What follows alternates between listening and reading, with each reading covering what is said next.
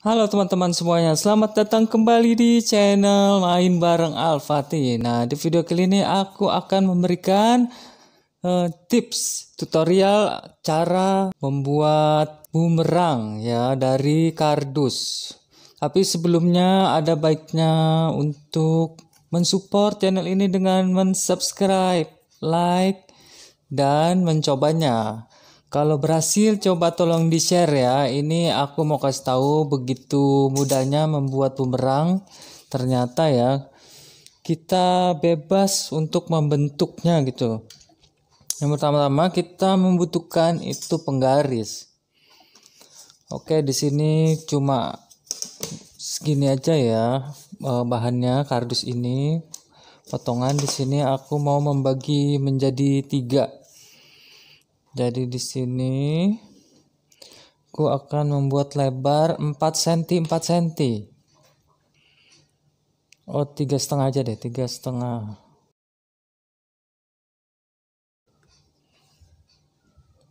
Tiga setengah gitu ya, kira-kira ya. Kemudian kita garis. Oke, kita bebas membentuk apa aja. Yang penting itu uh, panjangnya lebar sama ya dan itu yang membuat stabil dan juga yang terpenting adalah airfoil. Dan yang terpenting juga itu cara melemparnya ya teman-teman ya. Oke langsung aja kita potong menggunakan karter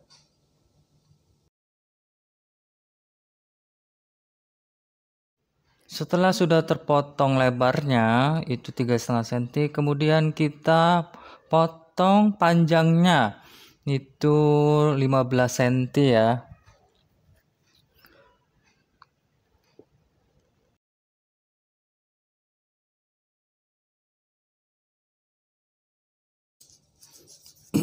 Jadi kira-kira modelnya nanti begini ya teman-teman ya.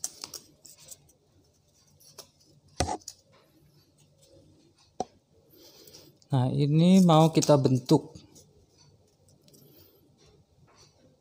Kira-kira bentuknya itu seperti ini.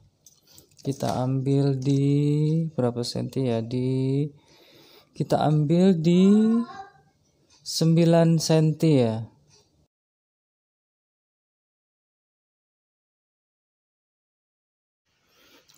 Kemudian kita ambil lagi uh, sisinya itu dua setengah senti. Oke ini kita gunting ini kita nyamping.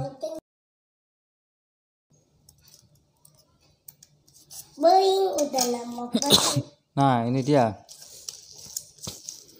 Sekarang tinggal kita membentuknya.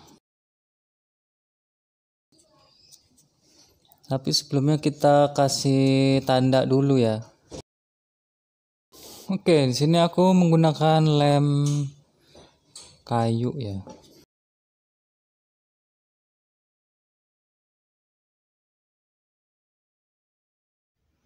Lalu kita tinggal membuat airfoil.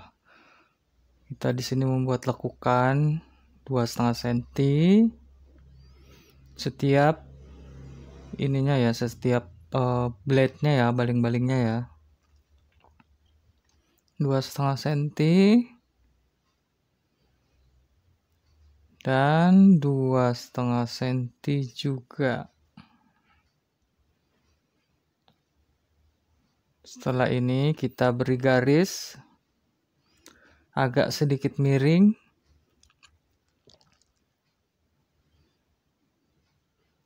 Begitu juga dengan yang lainnya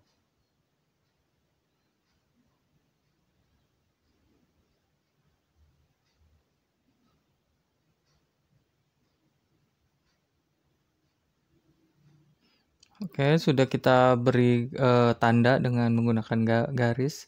Kemudian tinggal kita menekuknya.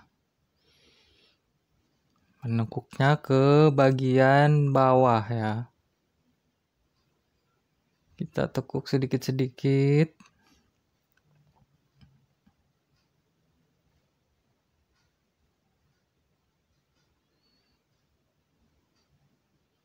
Karena ini yang menyebabkan bumerang itu kembali ke arah kita.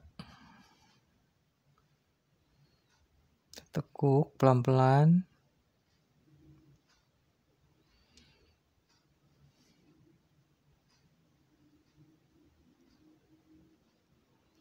Setiap sisi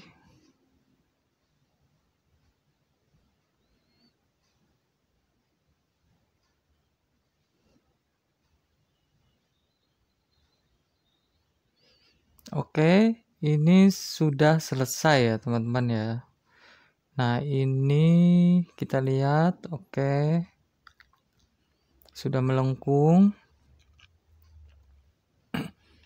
Nah ini bagian atas ya teman-teman ya, bagian yang mengarah ke kita ya, bagian atas.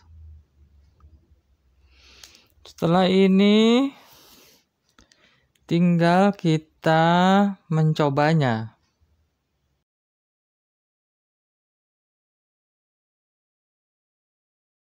Jadi nanti melemparnya seperti ini ya tangannya, ini tangan kanan ya begini. Lemparnya begini.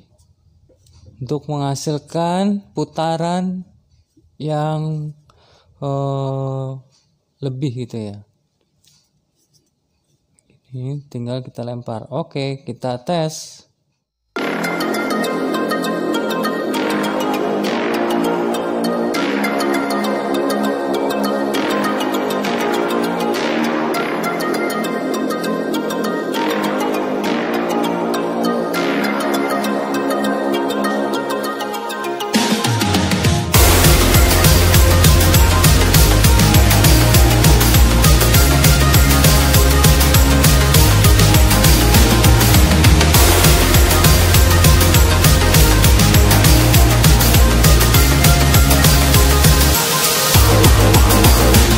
Baiklah teman-teman, videonya cukup sampai di sini. Selamat mencoba dan sampai jumpa.